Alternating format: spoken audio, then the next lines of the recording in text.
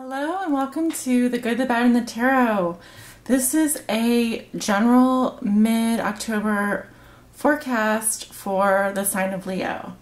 Um, I just have one announcement. That is, if you would like to book a private reading with me, please email uh, the good, the bad, and the tarot at gmail.com. That's my email address. Um, that's where you can uh, schedule and confirm appointments with me for a private reading. My readings are 30 minutes and my rate is $50. Um, PayPal to the good, the bad, and the tarot gmail.com. What else? Uh, I offer two formats live over Skype readings and a private YouTube reading that only you can see. So you have the choice. It's up to you which one you want to pick. Um, the other thing I wanted to mention is I am doing the same format for my uh, the mid October readings as I have done in the past. The only difference is that um, when I normally read tarot cards um, in this format, um, you'll notice that um, I'm going to be doing them the way that I normally do them for my personal readings. So um, I'll point that out as I'm doing it. It's really not that different. It's just um, a technique that I use that helps me focus on core cards better to see what people are doing more specifically. So I'll kind of walk you through that as I'm doing it. But as I was pre-shuffling the cards, um, the Two of Wands fell out. So the Two of Wands talks about um, making, having to make a decision. It is a minor arcana card, so it can just talk about deciding about two different people. Um, the man is standing at a precipice with the world in his hands. It can also talk about internet research or investigating options. Um, he's solemnly focusing on this ball in his hands, this globe. And he's fairly well dressed. So he does have um, the ability and the free will to choose between these two options. He's also looking in the, in the distance, so he could he's possibly waiting for his ships to come in, and ships can also represent messengers, messages, love letters.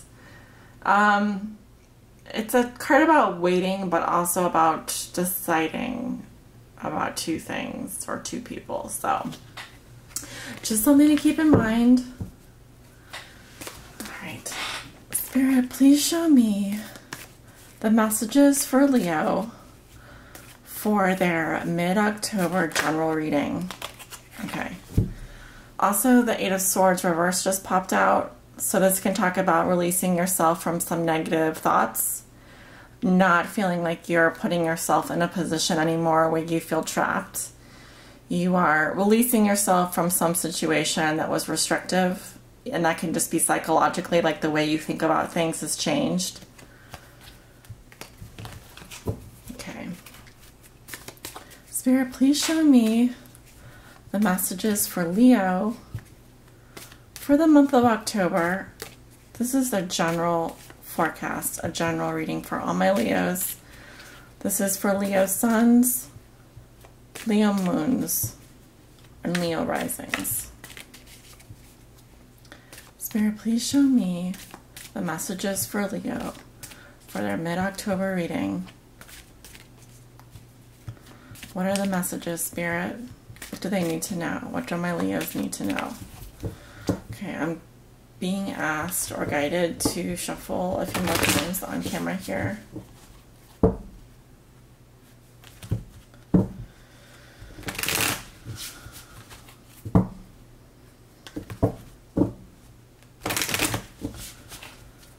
Once again, Spirit, please show me the messages for Leo for the month of October for their general forecast, for a general reading. What are the messages, Spirit? Guys, this is also kind of like a bi-weekly reading. So I'm starting early because it takes me forever to get through all of the signs. So we're going to do the same spread that we did before um, for the mid-September readings. Here we have the Three of Wands,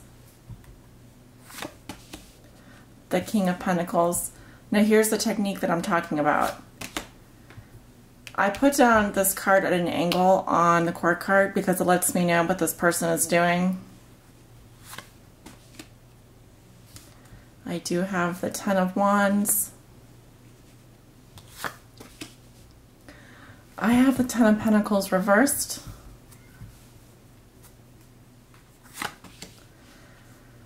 I do have the Eight of Pentacles reversed. The Eight of Swords. The Two of Cups reversed. And the World reversed. The Six of Cups reversed. The Two of Pentacles reversed. I'm sure you guys can see this. The Queen of Cups reversed, the Three of with the Three of Swords, and then the Page of Cups reversed with the Empress reversed. Okay. So this card, oh, I'm sorry, this row will represent the recent past. This row will represent the present or the middle of the month that we're going into. And then this row will represent the foreseeable future or the last um, weeks of October. So this is like the middle of the month and this is like the beginning of the month here. And then, you know, this is the weeks after the middle of the month, if that makes any sense.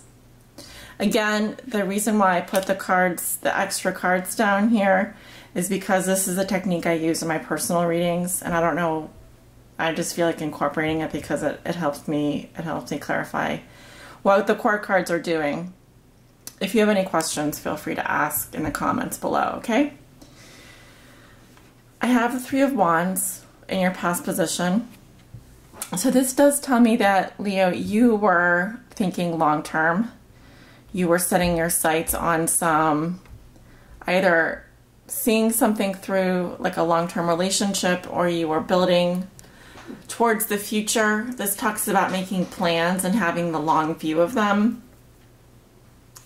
So um, this can also talk about planning a future with someone. If you're committed, then that makes a lot of sense to me because it does talk about building on the foundations, building on the foundations of what you already have. Um, now, I do have an interesting figure here. This is the King of Pentacles. He is going to be a earth sign or have earth sign in his chart. So Virgo, Taurus, Capricorn. And he will be a wealthy person, manager, um, very grounded, stable, um, self-sufficient individual in your life. This is someone significant to you, Leo. And what they're doing is they have a Ten of Cups reversed. So this talks to me, this says to me that this person is very unhappy about something. All of their cups are upside down. So for some reason, they're very unhappy, Leo.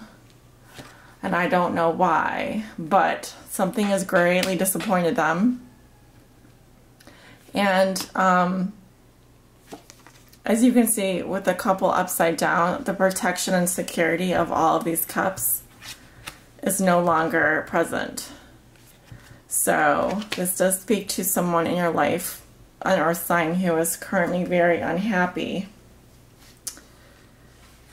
Next to this card, I have the Ten of Wands. So I do see you or this person potentially moving forward with a heavy burden. This can talk about carrying a great burden on this person's moving through the night. It can also talk about moving, moving away. Um, it also does talk about with two tens the end of something. So something has reached a conclusion, Leo, possibly with this person, because we are at the end of a cycle. So um, I am seeing movement away and um, carrying a great burden, heavy burden. Um, I also have a Ten of Pentacles reversed. So we have three tens in a row. Something is definitely ended here. There is a loss of security and happiness with someone in your life. The happiness and love and the security. Okay? But someone is continuing to move forward despite this. All right, so we have two tens reversed and one ten upright. So I am getting the end of something with the exception of this one card, the ten of wands being upright. Um, that still remains sort of a positive card because it means that you're someone is still carrying this burden. Um, so, but watch out because that's we're at the edge. We're at the very end here, so it's pretty much over, whatever it is. Going into the present, we have the Eight of Pentacles reversed. This talks about either not committing yourself to something or not working or being out of work. Um, this can just mean not putting any effort or um, really not paying attention to the details of a project. Next to another Eight of Swords, so we have two eights here. I do see someone is very trapped by negative thinking contrary to the card that I pulled in the pre-shuffling, um, while I was shuffling the cards, I actually see that um, by not working on this relationship or by not working on this long-term vision, um, you are feeling trapped by thoughts. And the thoughts aren't necessarily real. They, they might not actually even be real, but they might just be things you think. So remember, you don't have to believe everything that you think. So, but anyway, this person is feeling trapped and she is blindfolded and her hands are bound. So all she has to do is release herself from that from this situation, take the blindfold off, and see that these are just um, literally she can escape from the situation if she if she wants to. Now, um, I do have a Two of Cups reverse, so in a specific relationship, she may feel trapped and that they are not seeing eye to eye.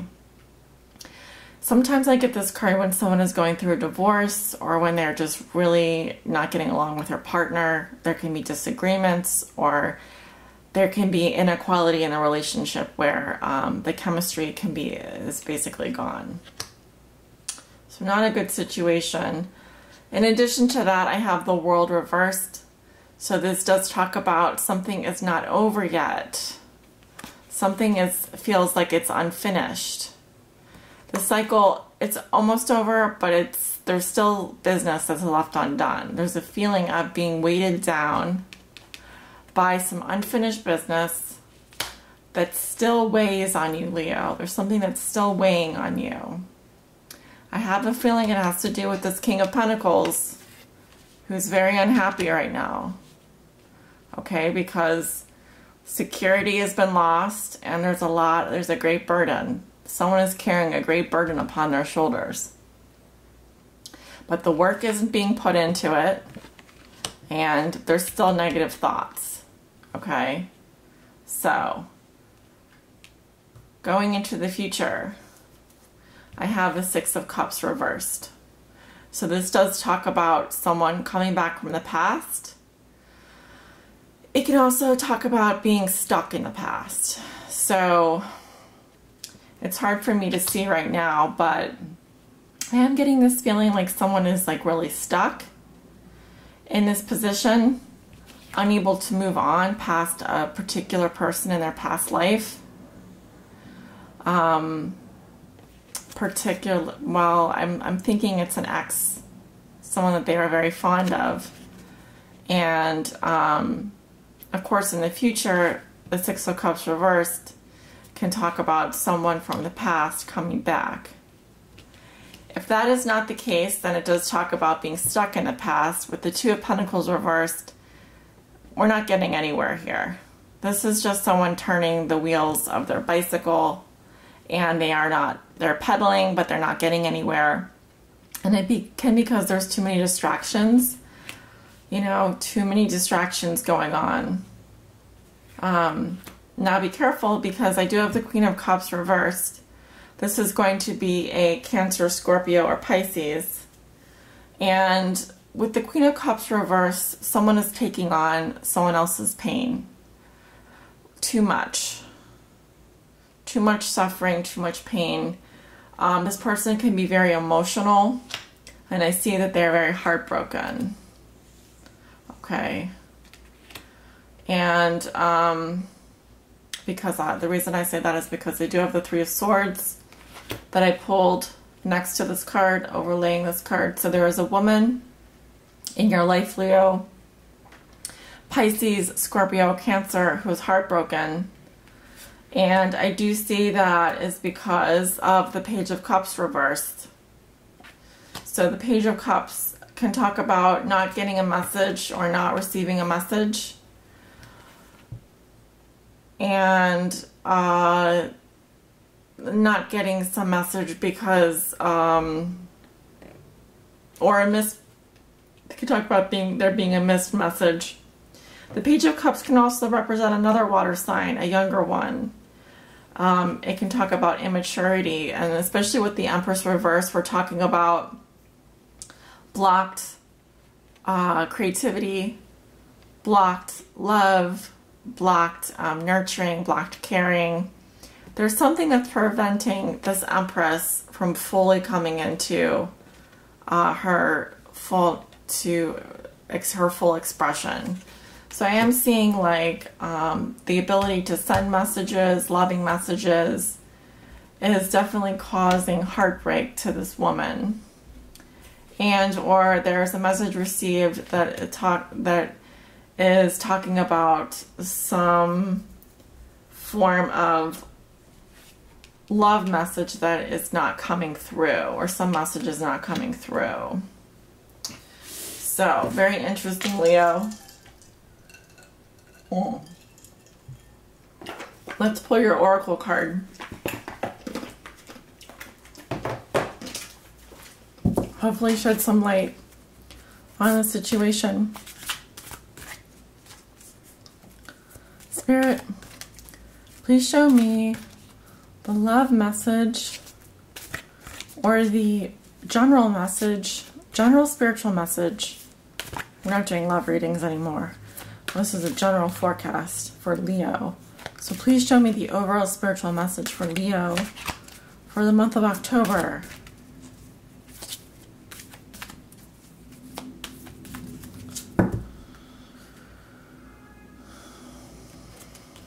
Yeah, I'm really getting this sense of someone is really unhappy. There is um, someone feels trapped and possibly in a relationship that is not working anymore. But there's still some unfinished business from the past that is yet to resolve itself. But I'm just seeing heartbreak in the future. I don't like that. Coral's wisdom. Colony, delicacy, fragility, works that are created over great periods of time. Okay, this is your oracle card from the Oracle of the Mermaids deck. Leo, it did come up upright, number 31. So let me read you the meaning of this card. Okay, this is a long message here. Coral as a magical talisman to enhance beauty and to ensure protection has long been used. Tune into the coral and see which color comes to you to know what messages these precious tiny creatures are communicating to you. Each coral family has particular qualities, and each region has an energetic signature that is unique. To tune into your coral, read the, list below and then simply hold your coral in your receiving hand. Okay, and it lists a bunch of different types of coral and um, what each coral will do. We have red coral, blue coral, golden coral, black coral, angel skin coral, and white coral. Um, but before getting into that, I'm going to read some more messages from here. Oh, how we love these tiny beings who gather and create Poseidon's castles and caves of wisdom. Their intricate and underwater towers of red, gold, and softest pinks have taken over thousands of your human years to create, and yet you destroy them. And yet they offer you so much. Their healing powers are so strong, and they can help all of us, including we mermaids of the present time, connect back, back to Atlantis, back to Lemuria. They are an ancient living storehouse of memories and wisdoms and collective consciousness of life itself on this planet. Why else would Buddha make coral one of the seven sacred treasures? For he found it restored his tranquility and serenity even under the most challenging of circumstances. Why else would Poseidon request the coral to create castles for the merfolk to dwell within and learn from? A living building, a wisdom temple that was truly alive. In your Greek mythology, it is said that the coral was formed from the blood falling from Medusa's severed head, and this is reflected in the Greek name for red coral, Gorgia, Georgia. So it holds her blood, the energy of the most ancient ones, even after they have seemed to pass. Your sailors learned from us that preserving the coral could ease the stormy seas. And then we shared that the coral's protective powers could help safeguard the children and create a fertile world. But you misunderstood and you took the coral. They gift to you so often as they wash up on the shore. But you began to take it and then you polluted the waters, and now her life is threatened. Please, although you hunger for her beauty, do not purchase harvested coral. The ocean needs her libraries, her temples, her castles of wisdom. Please do not please do know where your coral is coming from. The very best piece of all is a small washed up on the shore for you. It will carry such strong energy and is even more precious because the sea offered her to you. So, um, it goes on and on and on and on here. The reverse meaning is talking about some more psychological, like some more stuff that is more, uh, I think, related to this reading. Um, unwilling to take responsibility for the impact your choices make to the wider world it is time to make some adjustments now for the highest good of all. Look into purchasing ethical goods, fair trade, eco consciousness. there may be a reluctance to do so, a feeling that if something has already been destroyed, then what difference can your choices and actions make? But make your choice, but, but your every choice makes an enormous difference. The reverse card could also mean that you are living very quickly and expecting things to move at a pace which is not natural. You are living and contemplating the short term. The coral urges you to slow down and wonder at the impact of your choices for the next thousand years, collectively as humans, individually as a legacy for your future ancestors.